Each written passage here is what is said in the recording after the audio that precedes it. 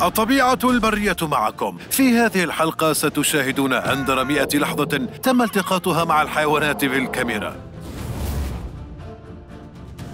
تم التقاط هذه الصورة في السافانا الإفريقية حيث يمكننا رؤية خنزيرين بريين يتقاتلان ضد ثعبان ضخم. أحد الخنازير البرية وقع بالفعل في قبضة الثعبان بينما يتسابق إخوته لإنقاذه. أعتقد أنه مهما كانت قوة الثعبان فليس لديه فرصة للتغلب على الخنزيرين الغاضبين. وأنت ماذا تعتقد؟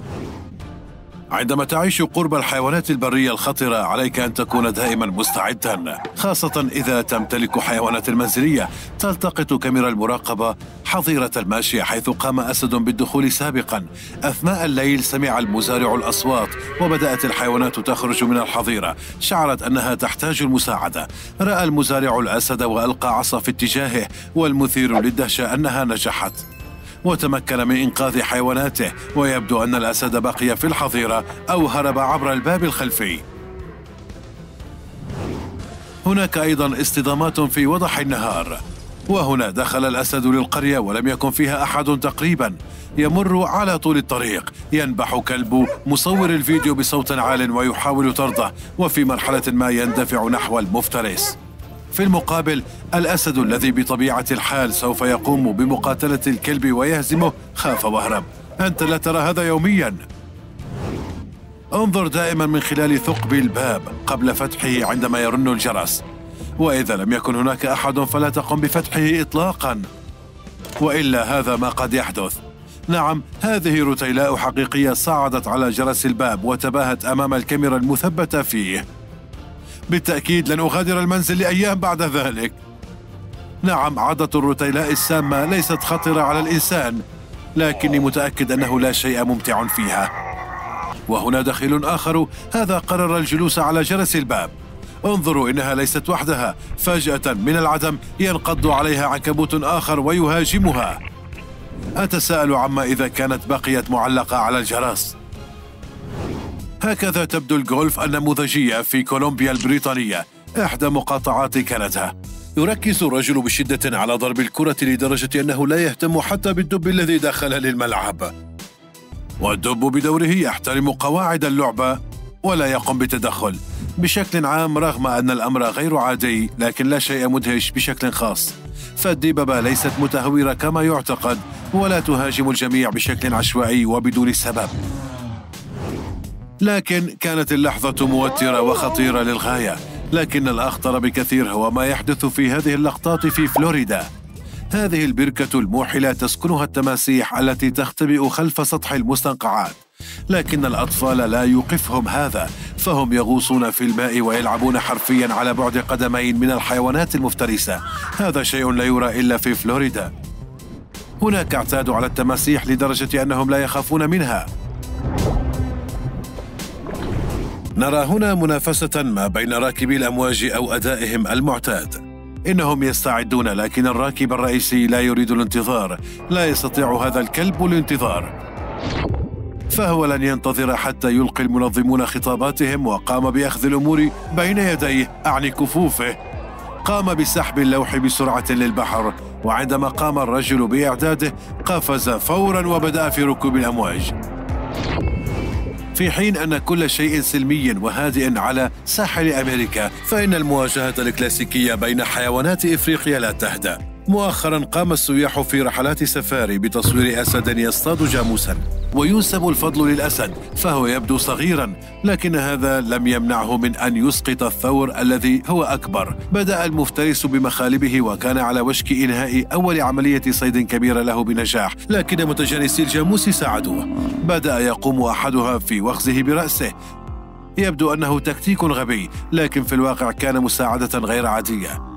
ساعد العملاق قريبه على التدحرج الذي لم يواجه صعوبة في التخلص من الصياد الوقح لكنه واعد للغاية. بالحديث عن الصيادين فإن أفريقيا مليئة بها. هذه هي الأسود والتماسيح والطيور الجارحة والليبرد. وهنا بالمناسبة واحد منها والوضع متوتر. بعكس القطط الإفريقية المرقطة الأخرى التشيتا هذه المخلوقات خطرة على البشر. بهذه الحالة أيضا اقترب النمر من السيارة مع السائحين وأدخل أنفه حرفيا وأصبح مهتما بحذاء مصور الفيديو. مضحك. وهنا يمكنك التحقق من المخالب الحادة التي يمتلكها وكفه الكبير. ولو أراد هذا القط البري ذلك لكان يستطيع تمزيق الحذاء والقدم بضربة واحدة. لكن لحسن الحظ هذا لم يحدث أبدا. تبين أنه كان فضولي لكنه كان أيضا خائفا قليلا. ابتعد عندما قام السائق بتشغيل المحرك. نرى سنجابا أمامنا يأكل شيئا ما وسرعان ما يأتي الطائر القرقف. متأكد أن الكثير يعتقدون أنه غير ضار ولا يفعل أي أشياء شريرة. لكن هذا الفيديو سيقنعك بالعكس. سرق هذا الطائر بوقاحة الأكل من تحت أنف السنجاب المسكين بحيث لم يملك الوقت للدفاع عن نفسه. السرقة ليست أسوأ ما يفعله الطائر بل غالبا ما يفعلها بالإضافة لذلك فإنه لا يحتقر أكل اللحوم وكسر جماجم أقاربه من منقاره السميك ويفعل نفس الشيء مع القوارض والخفافيش. نعم هذه الطيور التي نراها في شوارع مدينتنا. وهنا لص آخر أو بالأحرى عصابة إجرامية كاملة. تسللت مجموعة صغيرة من الخنازير إلى منزل شخص ما ووجدت طردا وسرقته بوقاحة. تخيل خيبة أمل صاحبه عندما شاهد اللقطات. هذه منطقة منتجع مع ميناء. يبدو كل شيء هادئا لكن سرعان ما يبدأ الناس بالذعر. هل ترى تلك البقع في الماء؟ هذا ما يسبب الذعر. وسرعان ما يسبح حيوان بحري نحو الناس ويلوح بذيله بقوة ويخيفهم. من المنطقي أن نفترض أنها قرش لكنها التونة والمدهش أن هذه الأسماك قادرة على إثارة الذعر كالقروش. أترون هذا؟ وعلى عكس الوحوش المسننة كانت هذه التونة على الأرجح ضائعة ومشوشة ومتعثرة تحاول السباحة للأعماق وبالتأكيد لا تريد الأذى. مرة أخرى لدينا موقف على الساحل وهذه المرة هو قرش حقيقي. إنه قرش رأس المطرقة وكان يصطاد. لا ليس الرجل. كما ترون كان على العكس من ذلك غير مبال به. رغم أن الرجل كان خائفا بشكل واضح. كان القرش يطارد بعض الأسماك واستخدمت الفريسة تكتيكا ذكيا. قامت بالاختباء خلف الرجل واستخدمته كدرع. لم يجرؤ القرش على اختراقه. نرى كثيرا من المخلوقات على الشاطئ. هناك قرش رأس المطرقة والتونة وحتى الأوركا. تزور هذه الحيتان القاتلة المناطق الساحلية كثيرا لكن بهذه اللقطات حدث شيء لا يحدث كثيرا. سبح الحوت القاتل بالقرب من السياح على متن القارب القابل للنفخ وكأنه يقيمهم ويتفحصهم لكن ليس لأجل أكلهم. رغم أن هذه الحيتان مفترسة وكبيرة إلا أنها لا تهاجم الناس ويمكنك أن تسبح معها. وتبين لاحقا أن هذا الحوت كان مشغولا بصيد وتتبع السلاحف تحت الماء. لذلك لم يكن مهتما بالسياح إطلاقا.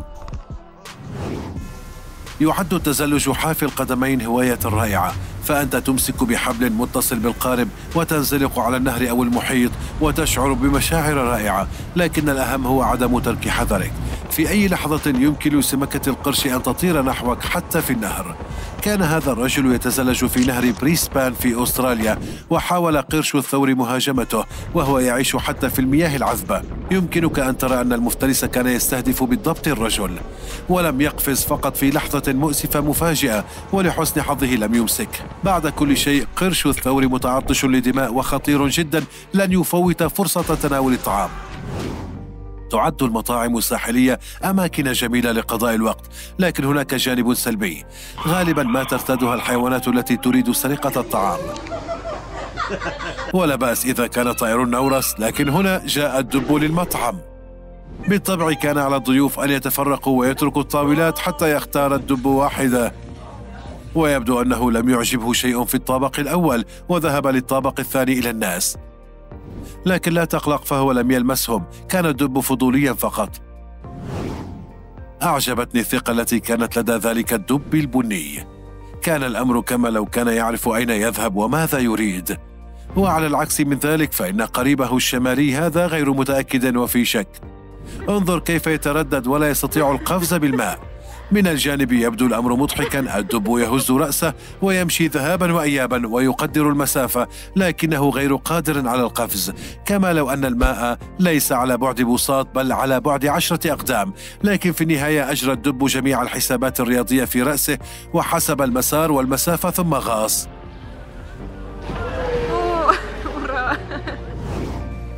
أقترح عليك أن ترى هذا الكلب السعيد والمسترخي الذي يعرف بالضبط كيفية الاسترخاء. عند السباحة أسفل النهر ستعثر على جذوع الأشجار والطين والصخور والأسماك والمزيد. لكنك لا تتوقع إيجاد موض كبير بانتظارك وسط نهر هادئ. أليس كذلك؟ ذكرني ذلك بالفيلة التي تغلق الطرق الإفريقية. كان على السياح الانتظار للتقدم للأمام. وهنا صادفوا موضا نشطا كانت تجري بسرعة في النهر وبدأ الأمر غير عادي ومثير للدهشة. إما أنها كانت ضحلة جدا أو أنه قد اكتسب قوة خارقة وتعلم الركض على الماء. أصيب أصحاب هذا المنزل بالصدمة عندما سمعوا ضجة أمام الشرفة في الصباح. بعض آثار الأقدام وبرميلا مقلوبا وهكذا. ربما اعتقدوا أنهم لصوص وبالتأكيد لم يتوقعوا أن يتسبب الموظ بهذه الفوضى. لكن هنا يتضح كل شيء. تقاتل الذكران أمام الشرفة مباشرة. كان القتال بسبب أنثى كانت تشاهد من بعيد بذلك الوقت. يقدر الراكون على أشياء كثيرة. مثلا يسرق الطعام عندما تسنح له الفرصة. وأحيانا يسكر تماما كالناس. هذه المخلوقات اللطيفة تحب المزلجة ألا تصدقني؟ انظر بنفسك. انظر كيف تستمتع بوقت فراغها.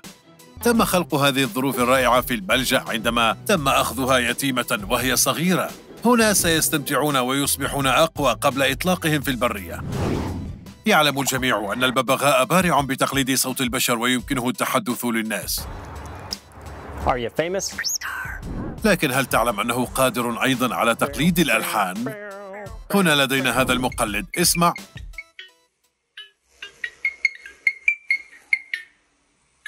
هل عرفت هذه النغمة؟ إنها نغمة الآيفون الاعتيادية. بالطبع غنى الببغاء على نحو غير منتظم لعدة مرات لكنه مقبول لأنه كان قادرا على مفاجأتنا بكل حال. الغربان رائعة بتقليد الأصوات. يمكنها التحدث أيضا ونبرتها تشبه نبرة الإنسان. انظر بنفسك.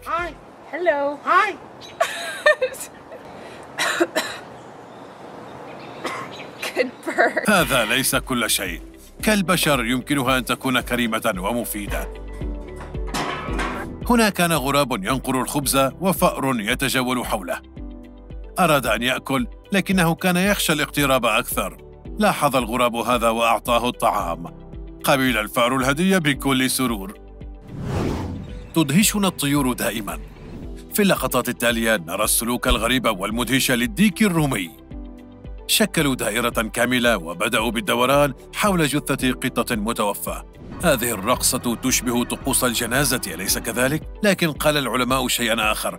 وفقا لإحدى القصص إنها مخلوقات ليست ذكية لذا يمكنها البدء بالدوران بمكانها تلحق بعضها دون سبب. وفقا لقصة أخرى يمكن تفسير الظاهرة بالعلاقة التي نشأت أثناء التطور بين المفترس وفريسته المحتملة. غالبا ما توضح الفريسة أنها تدرك وجود المفترس وفي بعض الحالات يضطر المفترس لإيقاف صيده وأيضا يمكن أن يكون هذا السلوك كنوع من التحذير لغيرها. لا أعرف عنك لكنني أفضل قصة الجنازة حتى لو كانت خاطئة. تستطيع الكلاب فعل العديد كالتحكم بلوح التزلج مثلا. شاهد كيف يتفوق هذا الكلب الرائع في الماء. يقف بثقة تامة على اللوح وعندما يسقط عنه ينهض ويواصل رحلته بمفرده. إنه لا يركب الأمواج العاتية لكنه ليس ضروريا.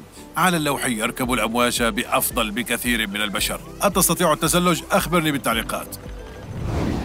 آمل أنه لم يكن يسبح بمنطقة كانت تعج بأسماك القرش. هذا ما يبدو عليه الأمر. عشرات القروش قبالة الشاطئ. هل هذا مألوف لك؟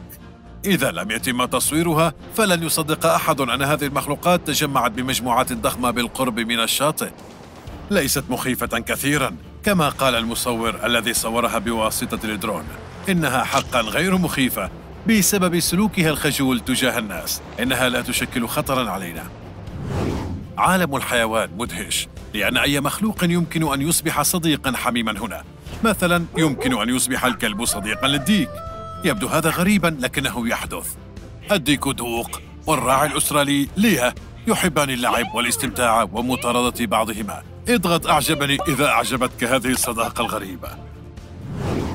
وهنا صداقة أخرى رائعة. أصبح القط أفضل صديق لهذا الحصان. على الرغم من أن الحصان أكبر بعشر مرات إلا أن هذا لا يمنعه من قضاء وقت ممتع مع القطة. تلعب القطة قليلا وتعضه. ولكن بطريقة ودية ومحبة دون الرغبة بأذيته. يحب القط أيضا النوم متكئا على فم الحصان الكبير. بالتأكيد هذا تحالف رائع. كما يقول المزارع هما سويا كل الوقت. بالمناسبة أعتقد أن هذه القطة قد التقطت عادات قليلة جدا من الحصان والآن تركض هكذا.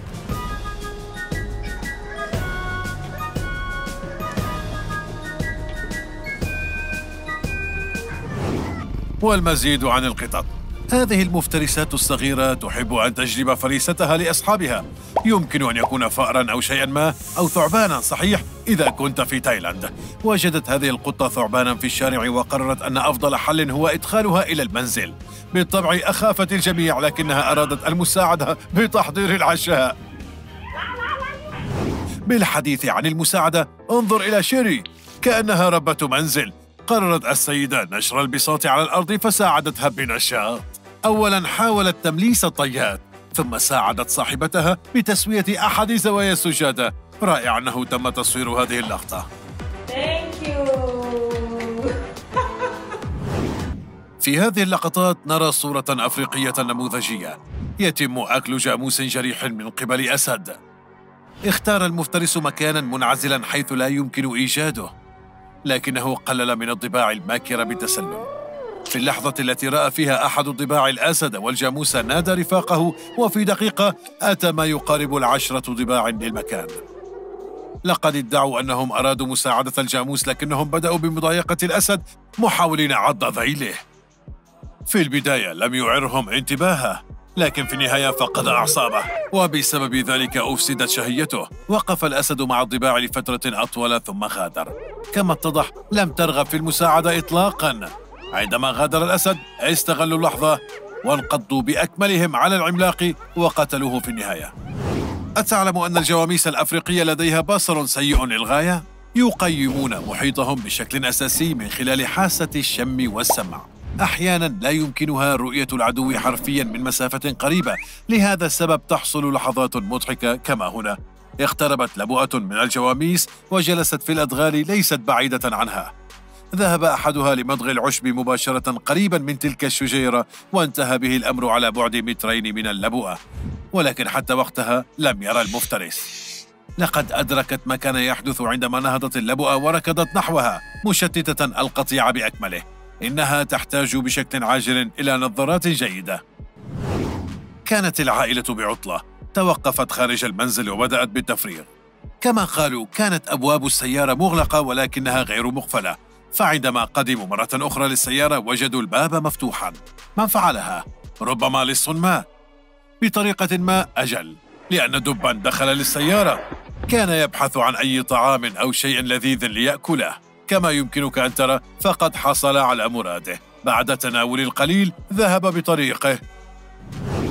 وهنا لص مراوغ آخر. نعم هذا الأخطبوط هنا. وفقا للغواص عندما رأى الأخطبوط في قاع المحيط غاص في الأعماق وأراد التقاط صور له. لكنه أحب الكاميرا لدرجة أنه أراد سرقتها بهدوء. غطى الكاميرا بمجساته وأخفاها وكان على وشك السباحة بعيداً. كما أخرج الحبر لإرباك الغواص لكن هذا لا يعمل مع البشر بالطبع. أخذ الغواص معداته بهدوء. أشعر ببعض الأسف تجاه الأخطبوط. أراد أن يكون أول مدون فيديو في المحيط. ببداية هذا الفيديو قد يفترض المرء أننا ننظر إلى طفل عادي يلعب في المكان.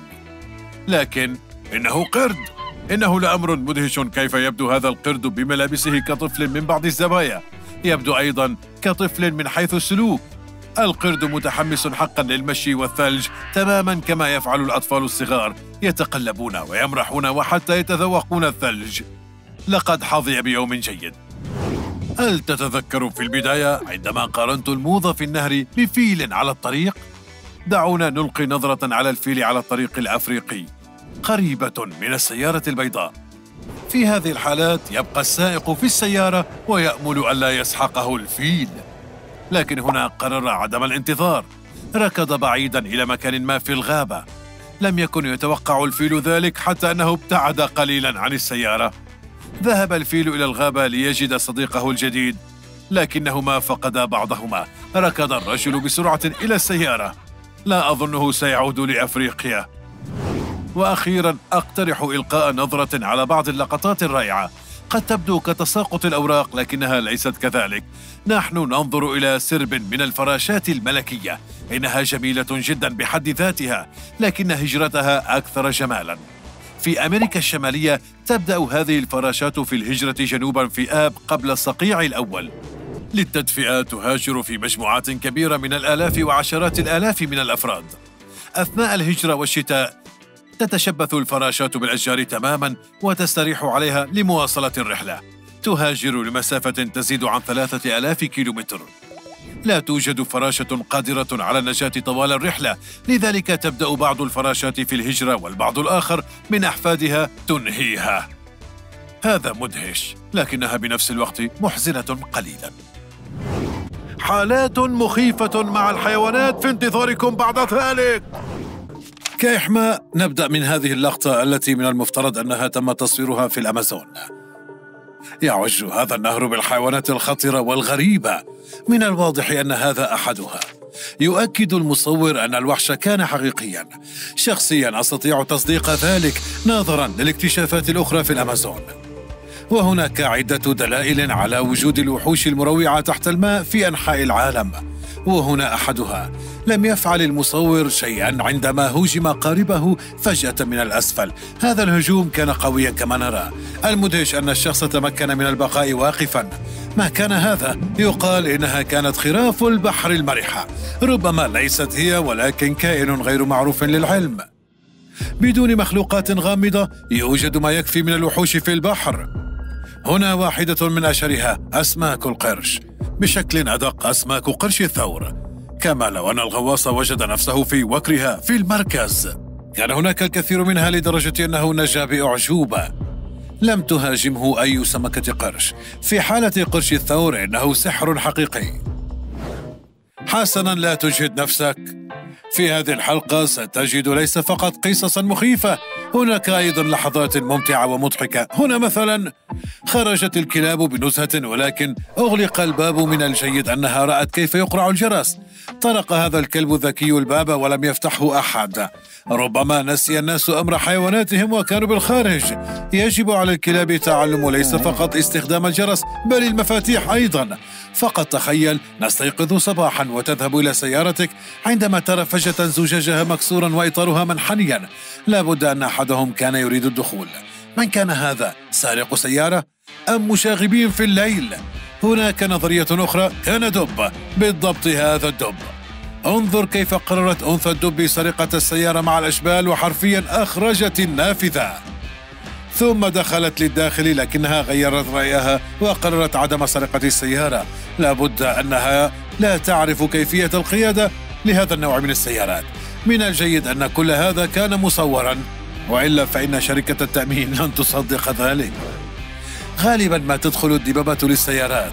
هنا لم يكن يجب كسر النافذة وكان الباب مفتوحا. دخل الدب الفضولي للسيارة وجلس. أتت صاحبة السيارة ولم تفهم سبب فتح الباب وسرعان ما توضح كل ما حدث. تركت الفتاة التفاح وخافت وهربت فورا. لكن لا يمكننا قول من كان أكثر خوفا. لقد صدم الدب أيضا. في النهاية قرر أن يأخذ تفاحتين ليخفف من التوتر. إن الطوف على الماء أمر رائع. لا تحتاج إلى معدات فقط قارب وحبل. تتصل بالمياه بشكل كبير لدرجة حتى الأسماك تعتقد أنك تنتمي للماء. مثلا قرر قرش الثور هذا أن يرحب بالرياضي وقدم له مصافحة بذيله. ليكن أقل وقاحة كان محظوظا لأن القرش لم يصطدم به وإلا ذلك سيصل لنهاية سيئة. لقد اعتدنا على حقيقة أن الدببة البيضاء حيوانات هائلة وتجسد قوة الشمال لكن الرومانسية والجمال ليست غريبة على هذه الحيوانات. شاهد هذا اللطيف. هذا الدب القطبي يرقد في حقل الزهور. هذه لحظة مفاجئة حقا. لم أكن أعرف أن الدببة تحب الزهور. يمكننا رؤيتها تسبح. ليس بين الجليد الطافي بل في مكان كهذا. مثلا في الواقع صور هذا في خليج هيدسون بكندا وليس في السماء الجنوبية. في الواقع ليس معتادا رؤية دب أبيض محاط بالجليد صحيح؟ ليس فقط الأطفال من يحبون لعبة الالتقاط كذلك الحيوانات. وحيوانات مختلفة يمكنها أن تلعب. هنا يمكننا رؤية كلب مع حصان. قال الكلب للحصان إنه دورك. لذلك بدأ الحصان بالمطاردة. كان الكلب يتعرج لذا لا يجب أن يكون في المقدمة. من المرجح أن يستسلم الحصان. الأحصنة أسرع من الكلاب. يحب البعض لعب الالتقاط بينما البعض الآخر يحب شيئا آخر. أنشأت هذه الدببة منتزها صغيرا في الفناء الخلفي للناس. قرر الدب أن يتأرجح ثم انضم إلى أخوته على الترامبولين. لم تفهم بعد ذلك مبدأ عملها. لهذا لم تقفز عليها بل كانت تقاتل. لم يحدث شيء. بعض زيارات أخرى وستتعلم القفز مثل الفنانين الحقيقيين. ستبهر الناس بالتأكيد. كما فعل صغير هذا الفيل إنه نجم حقيقي. شاهد كيف يرقص أمام الجمهور. من الواضح أنه يحب أن ينظر الناس إليه. كما أن الأم سعيدة لأن صغيرها يحظى بشعبية كبيرة. إنها لا تعارض المهتمين به. لكنها تأخذ حذرها احتياطا. ربما لمنعهم من مطالبة الراقص الصغير بالتوقيع. كما ترى لقد استرخيت بهذه المقاطع اللطيفة والمضحكة. إذا شاهد هذا. هل توقعت أن يهاجمك العنكبوت بشكل غير متوقع؟ ذلك مروع. يا لها من سلحفاة جميلة. إنها بالتأكيد غير ضارة. أليس كذلك؟ حسنا لم يكن ضروريا المهاجمة فجأة. يمكنها قول إنها ليست جائعة بالمناسبة هذه السلحفاة النهاشة الشائعة وتعرف أيضا بالعض.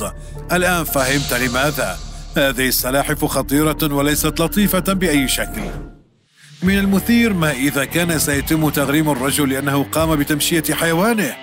استنادا للقانون الأمر ليس كذلك. غالبا لن يجرؤ أحد على الاقتراب. هذه القطة تقرر بنفسها أين تمشي. هرب من الأسر.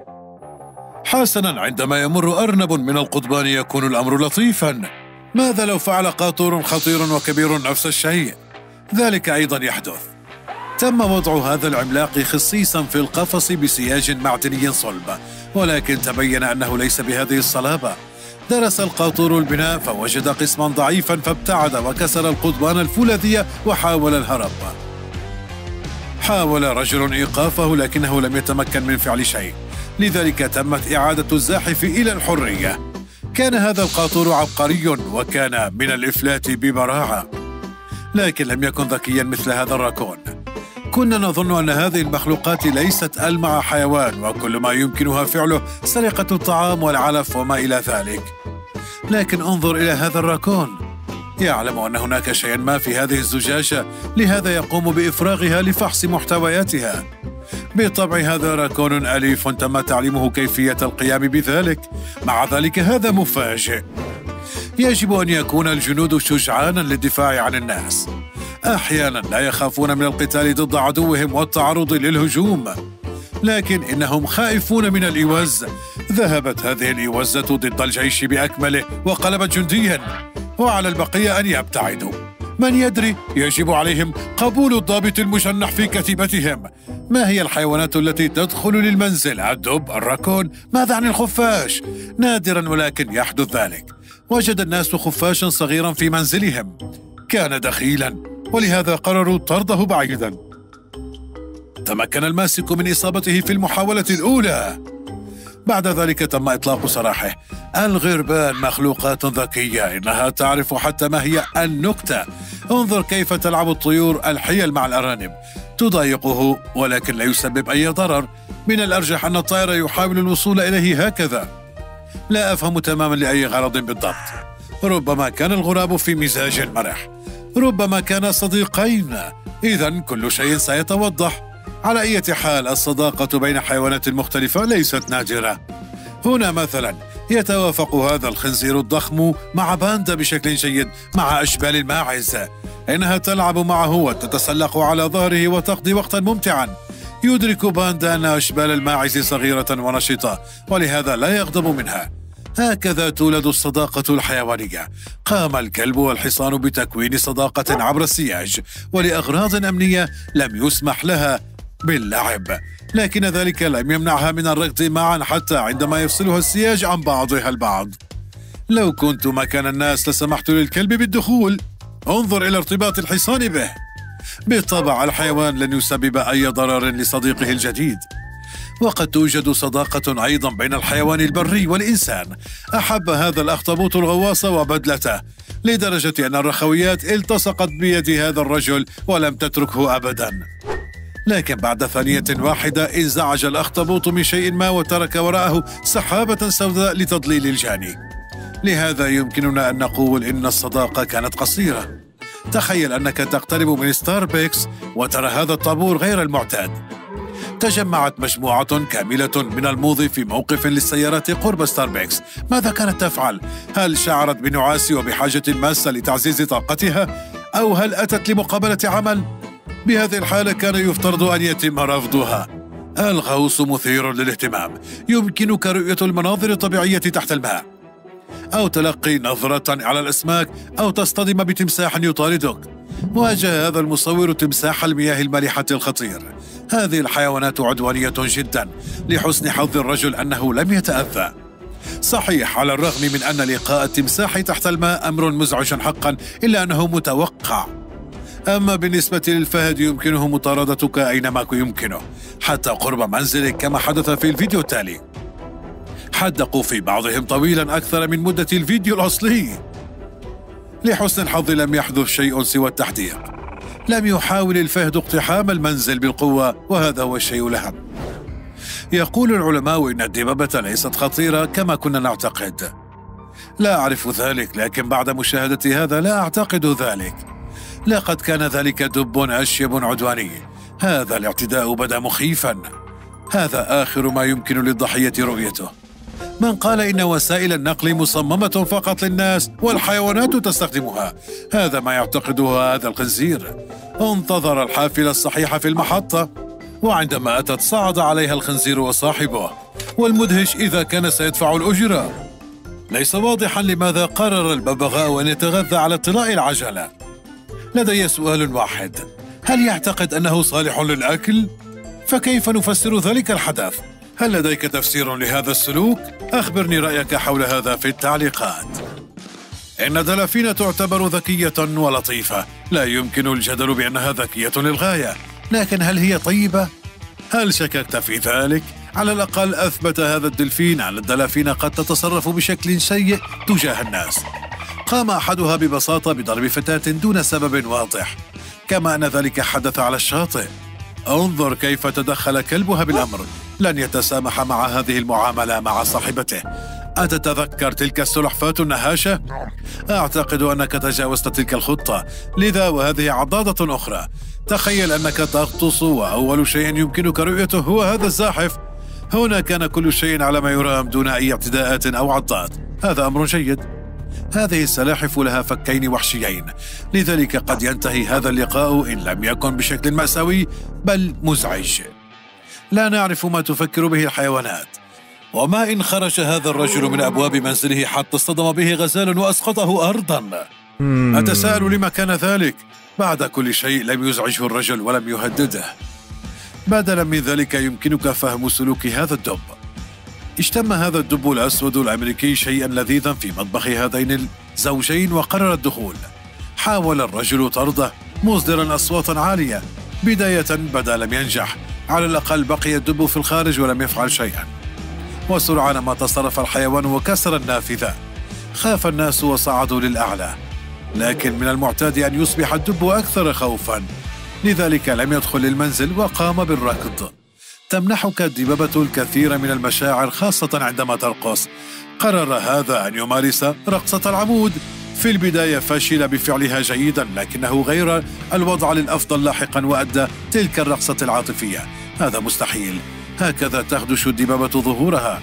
على أي حال هذا يبدو كالرقص. هل تعرف الشعور عندما تقف في المياه الضحلة وظهرك مدار والموجة قادمة؟ ولا تعرف حجمها؟ هذا لا يحدث مع البشر فقط وكذلك الحيوانات. هنا نزلت الموجة على البطاريق. لقد اعتادت هذه المخلوقات على الأمواج والجليد والجو القاسي. لكن يمكن أيضا مفاجأتها على حين غرة. من الخارج يبدو أن الرجل يصور فرس النهر الذي توفي منذ بعض الوقت. لا تقلق هذا ليس صحيحا. في الواقع لابد أن الفرس يأخذ قيلولة. عندما ينام في الماء غالبا ما يأخذ قيلولة وليس نوما ثقيلا. إنه بحاجة للصعود للسطح كل ثلاثة لخمس دقائق للتنفس وهذا ما حدث في هذا الفيديو. أحد ما يفضل النوم في الماء بينما الآخر يفضل النوم على الأشجار. وهذه هي الميزة الغريبة والمهمة للغاية في الماعز الغربي. يتسلق بسهولة الأشجار لأجل الطعام الأوراق والفواكه لديه وظيفة التوازن الخلقي. يمكنه الوقوف طويلا وعدم السقوط وهناك أماكن سياحية مميزة يمكنك زيارتها لمشاهدة تلك الظاهرة. هذه الظاهرة لن ألاحظها مباشرة. أعني قدرة التماسيح على التنكر. هذه الحيوانات تبقي نفسها في المستنقع وتستلقي بلا حراك كما لو تنتظر ضحية. مغطاة بالطين والوحل تندمج مع المستنقع وتجعل من الصعب اكتشافها. لهذا تعتبر مستنقعات فلوريدا التي تسكنها التماسيح من الأماكن الخطرة ماذا تفعل إذا كان لديك قمامة ولكن عمال النظافة لن يأخذوها؟ يمكنك استدعاء الدب الأسود ويقوم بهذه المهمة. انتزع هذا الدب بعض أكياس القمامة. لم يتم تنظيف المنزل على أي حال. كان مهتما فقط إذا كان هناك شيء لذيذ. على أي حال فقد تمكن من التنظيف ولو جزئيا. نعد للدب الأسود الأمريكي مجددا. هذه المرة ينضم لحفلة ما في منزل. توقع الناس حدوث هذا لذا قاموا بتسييج المبنى. هل أنت جاد؟ هل يمكن لمثل هذا الباب أن يوقف الدب؟ لا أحد يعرف ماذا حدث. على أي حال أتمنى أن يكون الحيوان قد انضم للحفلة ولم يؤذي أحد. نجا هذا الغواص من تجربة مروعة حقا عندما رأى سمكة الراي تلك العملاقة تتحرك باتجاهه وتبعتها أخرى. كما كان لديها قرون طويلة وحادة وهذا مخيف. لكن لا داعي للخوف إذا كنت تعرف مع من تتعامل. إن أسماك شيطان البحر العملاقة غير ضارة تماما للناس على الرغم من حجمها الضخم. انظروا هذه ميلمان ومارتي من مدغشقر. بعد المغامرات عادت لحديقة الحيوان. صداقتهما لم تنتهي. من الجميل أن تتناغم هذه الحيوانات مع بعضها ليس فقط في الكرتون بل في الواقع أيضا. يحب الكثيرون حمامات الشمس وأشعتها بما فيها التماسيح. يحق لها أيضا تدفئة جسمها على الرصيف الذي يزوره العديد من الأشخاص. وهذا التمساح حاول ألا يزعج أحد. حتى أنه لم يستلقي وسط الطريق بل على حافته تاركا مساحة كبيرة للمرور. إلا أنه من غير المحتمل أن يتجول شخص ما هناك مع وجود هذا المفترس الخطير بالقرب. كما نعلم فإن الجريفين يأكل الجيف وهذا يعني أنه غير مهتم بالكائنات الحية. صحيح؟ هذا صحيح. هذا ليس صحيحا تماما. أحيانا يمكن لأكلة الجيف مهاجمة الناس. ليس لطيفا أن يطير العملاق باتجاهك. إن الديوك حالة مختلفة. لا يجب أن تنتظر أي عدوان منها لأنها ليست مخيفة. مع ذلك أحيانا يمكنها إظهار قوتها. بدأت فتاة في طرد هذا الديك لسبب ما وبالتالي قرر إبعادها لحماية نفسه والبيت الخاص به. يحدث أن الحيوانات وكذلك البشر لديها أو ليس لديها ما تحاول فعله. وجدت هذه القضاعة طريقة مثيرة. بدأت تلعب بالحجر. تستلقي على ظهرها وتضع عليها حجرا وتتحكم به حتى لا يسقط من عليها. ما رأيك بهذا؟ هذا المشهد ساحر للغاية ومخيف في نفس الوقت. على الأقل بالنسبة لي. هذا الثعبان آكل البيض قادر على تنويمنا بحركاته. يبدو غريبا للغاية لكن الشيء الأهم هو عدم الاقتراب من الثعبان إذا رأيته بنفسك. هكذا يظهر هذا الزاحف استعداده للهجوم وحماية نفسه. علاوة لا يشكل الثعبان خطرا ينتمي لثعابين الماء ويتغذى حصريا على بيض الطيور. ومن هنا يأتي اسمه هذا. هذا الثعبان أكبر إنه أكبر بكثير. ولكن هذا لا يمنع الصغير من اللعب به. يدحرج نفسه على ثعبان ضخم ويجعل نفسه مرتاحا. كما يسمح له باللعب برأسه أيضا. هذا الثعبان صبور للغاية. إنه أكثر ذكاء ويدرك أن هذا مجرد طفل وأنه من غير المقبول مهاجمته. فالطفل يستكشف العالم فقط. سأخبرك الآن عن مشاجرات الحيوانات الرائعة. أعتقد أنه لم يكن من الممكن رؤيته. عام 2017 تخلى رجل سويسري عن حياة المدينة وقرر فتح ملجأه حيث بدأ في رعاية الأسود والقرود والضباع التي عانت بسبب الصيادين. لا أعرف نوع العلاقة التي تربطه بها لكنه وجد أرضية مشتركة مع الأسود. في هذا الفيديو كان الرجل جالسا بجانب شجرة ويستريح خطط الأسد الذي لم يكن يعلم بوجود الكاميرا للزحف دون أن يلاحظه أحد وإخافة صديقه وهذا ما كان الأمر عليه. قبل لحظات من الاندفاع الأخير تلقى الأسد إشارة تحذير من مالكه مما أجبره على كبح شماح مزاجه والدخول في وضع العناق. كما أوضح الرجل لاحقا لم يكن الأسد يخطط لمهاجمته. هذه لعبتهما. مع ذلك سأكون أحرص إذا كنت مكانه. بعد كل شيء هذه الحيوانات لها نفس أسلوب الصيد. تزحف تجاه فرائسها من الخلف وتهاجمها من الأعلى وتعض رقبتها. وبالتالي تسقط الفريسة وتحرمها من الحركة. في أكثر من نصف هذه الهجمات كان الصيد ناجحا. لا تجري الأسود مسافات طويلة بسبب خصائصها الفيزيولوجية فهي تملك قلبا صغيرا وضعيفا بالنسبة لجسمها العضلي الكبير. هل السمكة تعض؟ أعتقد أنه مع هذا السؤال جاء هذا الدب لزيارة الصياد. وفقا للرجل فإنه يستريح في هذا المكان دائما ولم يرى دبا من قبل هنا. في ذلك اليوم لاحظ مصور الفيديو من زاوية عينه كيف خرج دب من العشب بصمت تام. يبدو كأنه كان يتسلل وبمجرد أن لوحظ لم يكن لديه خيار سوى لاعب دور الضيف الذي يريد أن يسأل عما إذا كانت السمكة تعض أو لا. لص أن تكون قطة أمر جيد خاصة إذا كان لديك منزل وأصحاب المحبة ثم يتم إطعامك باستمرار واحتضانك وأخذك للتنزه ووضعك في سرير دافئ ولا يتطلب منك شيئا عمليا بشكل عام إنها المتعة الخالصة. لكن هناك أيضا مواقف عندما يقتحم ضيف مجنون هذه الحياة الخاصة ويخطط لسرقة ما هو لك. وفقا لمصور الفيديو أعطوا قطتهم بعض الدجاج المقلي ودعوها تخرج إلى الخارج حتى تتمكن من التجول بقدر ما تريد. وبمجرد أن تجوع يمكن أن تأتي وتأخذ الطعام.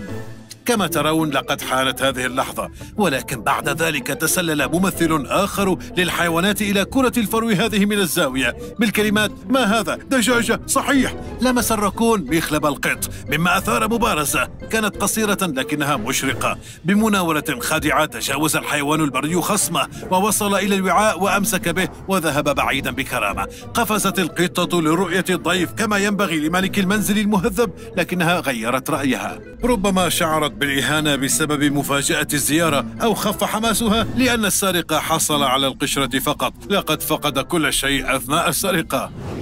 الحيوانات البرية لا تهاجم القطط فحسب بل البشر أيضا. خاصة في أستراليا. كان الرجل في الفيديو جالسا بسلام على شرفة منزله يشاهد شيئا ما على جهازه ويستمتع باليوم الدافئ. لكن دون أن يدرك ذلك كان يقترب من التعرض لهجوم ثعبان خطير تسلل إليه بصمت مفكرا في لحظة اللدغة. وهكذا عندما كان الزاحف تحت كرسي الرجل مباشرة أثر شيء ما على قراره وسرعان ما ذهب بعيدا عنه. عندما تغيرت وتيرة الحركة لاحظه الرجل بالطبع وابتعد بسرعة. أتساءل ما الذي أخاف الثعبان كثيرا؟ ولأي غرض زحف بكل ثقة تحت كرسي الرجل؟ أخبرني في التعليقات. الفضول ليس فضيلة. القصة التالية حدثت في بلدة كوبورغ الكندية. في منتصف الليل مباشرة سجلت كاميرا مراقبة مواجهة غير عادية بين بومة وثعلب. كان الثعلب مهتما جدا بالبومة لدرجة أنه ظل يحاول الاقتراب منها ليشتمها ويرى ما هي. بالرغم يبدو لي أن كلاهما كان مهتمان ببعضهما البعض.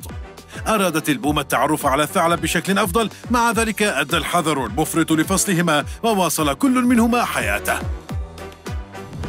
سأعرض لكم الآن حالات عن العناكب من الأفضل ألا تشاهدوها بمفردكم. مفاجأة كاندر. العناكب الذئبية هي بالضبط تلك المخلوقات التي لا يرغب أحد في أن يكون له أي شيء مشترك معها. يوجد أكثر من ألفي نوع منها في العالم وجميعها مخيفة بشكل لا يصدق. خذ على سبيل المثال رغبتها في الإنجاب. الأم في أي حال من الأحوال لا تتخلى عن صغارها فهي لا تحتاج هذا. بعد الفقس يصعد الصغار على الفور على ظهر الأم وتتدلى أرجلها. ويترك الفرخ الأول شبكة من الشرنقة على ظهر الأم حيث يتسلق عليها الآخرون. وحتى لا تذوب العناكب فإنها لا تنزل إلى الأرض ولا تمنح أمها السلام. ومع ذلك فإنها لا تطلب الطعام. قد تبدو هذه العلاقة الأسرية مثالية لكنها ليست كذلك. بمجرد أن تكبر العناكب تنزل عن ظهر أمها وتغادر المنزل إلى الأبد. هذا على الرغم من أن الأم تفقد ما يصل لثلاثين بالمئة من وزن جسمها خلال الوقت الذي تقضيه مع الشرنقة تحت الشمس. هكذا تبدو هذه العناكب قاسية حقا ومن الأفضل عدم لمسها. مظهر هذه المخلوقات مألوف لدى الجميع عبارة عن جسم صغير وأرجل رفيعة عملاقة. في بعض الأفراد يصل طولها إلى خمسة سنتيمترات وهو أكبر بعشرين مرة من الجسم. يمكنك العثور على هذه المخلوقات في كل مكان تقريبا في الكهوف وفي بعض الجحور بشكل عام حيث يوجد ضوء أقل ورطوبة أكثر. أوه نعم. كيف يمكنني أن أنسى مكان اختبائه الرئيسي المفضل وهو منزل بشري؟ لقد أصبحت هذه المخلوقات الرفيقة الأبدية للبشر ومعنا انتشرت في جميع أنحاء العالم. الأمر لك لتقرر ما إذا كان هذا جيدا أم سيئا. من ناحية فإن الزيادة في عدد هذه العائلات العنكبوتية لا تعني شيئا جيدا. ومن ناحية أخرى فهي تساعد على تقليل عدد المفصليات الأخرى التي ربما تكون أخطر. غالبا ما يفترس عنكبوت القوي أقاربه. ويقودها إلى منازله ويلفها في شبكاته الخاصة. تقتل هذه العناكب أيضا سكانها ولكن فقط في الحالات التي تكون فيها جائعة جدا. غالبا ما تحل هذه العناكب جميع النزاعات بطريقة مهذبة من خلال المبارزة القاعدة الأساسية هي عدم العض وعدم استخدام خيوط العنكبوت. عناكب البحر. إذا كنت تعتقد أنك تستطيع الاختباء من العناكب في الماء فأنت مخطئ بشدة. لأنه كما اتضح مؤخرا هناك عناكب بحرية وهناك عدد لا بأس به. يوجد اليوم أكثر من 1200 نوع منها. كل الأنواع مختلفة تماما وتعيش في أماكن محددة وتمارس أنشطة معينة. في المياه الضحلة ستواجه أفرادا صغارا وبسيطة وهو لن يفاجئك. لكن إذا كنت تسبح في الأعماق فهنا تبدأ الأشياء الأكثر إثارة للاهتمام. يمكن أن يصل طول أرجل بعض ممثلي هذا النوع إلى 50 سنتيمترا. أسوأ ما في هذه القصة هو أنه باستثناء الأرجل لا تملك العناكب أي شيء آخر. وقد أدى هذا لظهور عدد من الظواهر الغريبة. لا توجد أمعاء في أجسادها فحسب بل إنها تمتد إلى أسفل أرجلها. إن هضم الطعام في الأطراف أمر فريد في عالم الحيوان. لكن هذا ليس كل شيء.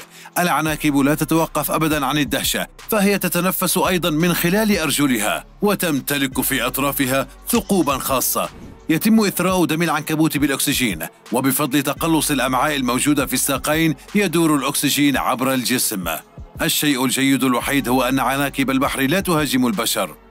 لأنني سبق أن تخيلت مشهدا من أحد أفلام الخيال العلمي عندما يبتلع عنكبوت عملاق رجلا برجليه. برر. كابوس. يبدو لي أن الكثير قد سمحوا بإمكانية التعرض للهجوم أثناء النوم. البعوض وبعض الوحوش الخيالية إذا كنا نتحدث عن الأطفال أو العناكب إذا كنا نتحدث عن البالغين. لهذا السبب لا أذهب للتخييم. لا أعرف أيا من وحوش الغابة سينزل من الأشجار في الليل. انتظر يبدو أنه حتى في المنزل ليس الوضع آمنا. في هذا الفيديو كانت طفلة صغيرة تستريح بسلام في سريرها وتستمتع بنومها بينما كان عنكبوت عملاق ومرعب يتدلى فوق رأسها. نزل هذا العنكبوت الرهيب إلى الفتاة الصغيرة على شبكته القوية والعنيدة. اعتقدت أن هذا كل شيء لكن شيء فظيع على وشك الحدوث.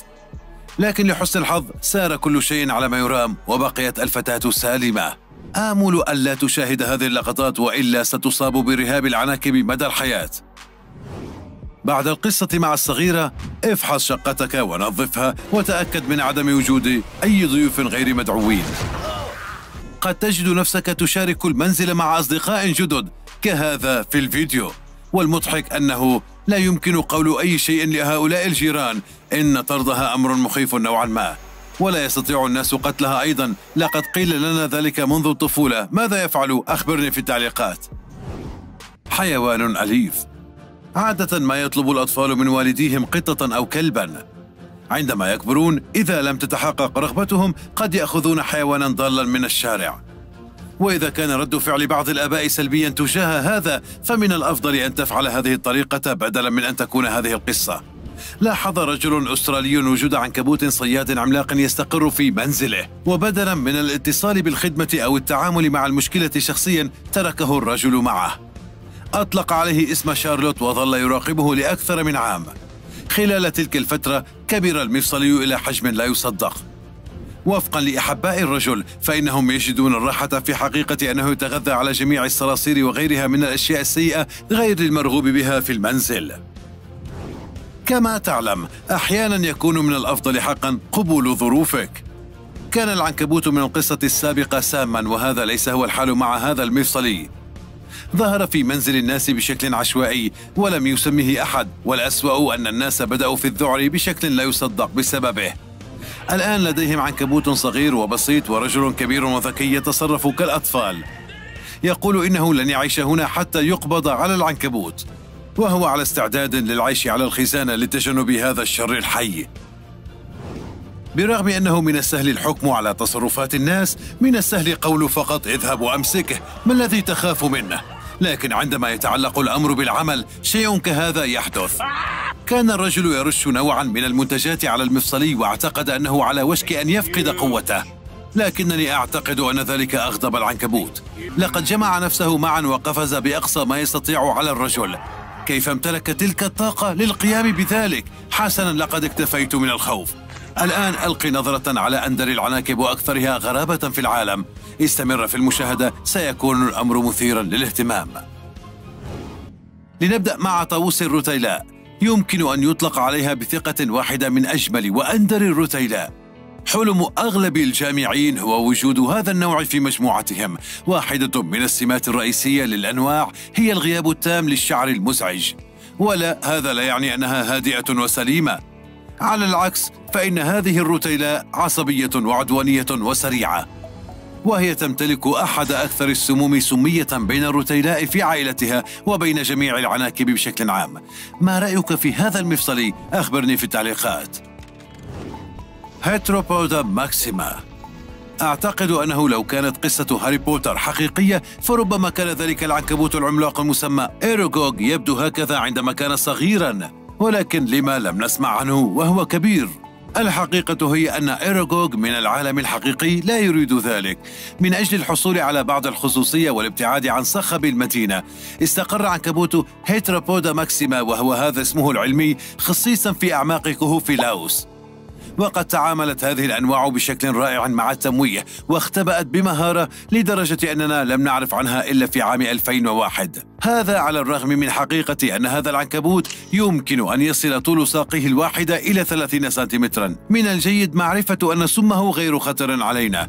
ومن ناحية أخرى فإن سكان الكهوف أقل حظا. يتضمن النظام الغذائي لهذا العنكبوت كل ما يزحف ويقفز ويطير ضمن حجمه ومدى وصوله. توجد في أطراف ساقيه آليات خاصة تكتشف تحركات الكائنات من حوله. أدنى اهتزاز وسيتم القبض على الفريسة فوراً.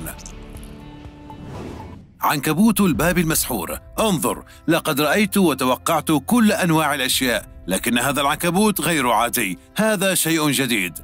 تعرف على سايكلوكازميا. عنكبوت مفصلي ذو بطن مقطوع من الخلف. يوجد عليه أنماط وشعر شائك. ومن هنا جاءت أسماؤه. عنكبوت الطباعة عنكبوت الباب المسحور عنكبوت العملة المعدنية وعنكبوت الباب المسحور للأموال. من الصعب جدا العثور عليه في الحياة لأنه يحب التربة الرملية والطينية حيث يكون مناسبا حفر الجحور العمودية بعمق من 7 إلى 15 سنتيمترا. تتسلق العناكب بداخلها بحيث يغلق البطن المدخل مثل غطاء فتحة التفتيش. هذه العملية تسمى فراغموسيس يتم سحب خيوط العنكبوت من الجحر المغطى بالرمال والأوساخ. وهكذا فإن قاطع الطرق هذا ينتظر فرائسه وفرائسه حيوانات صغيرة أدنى من الصياد من حيث الحجم. هذا كل شيء. أخبرني في التعليقات أأنت خائف من العناكب؟ شكرا للمشاهدة وراكم لاحقا.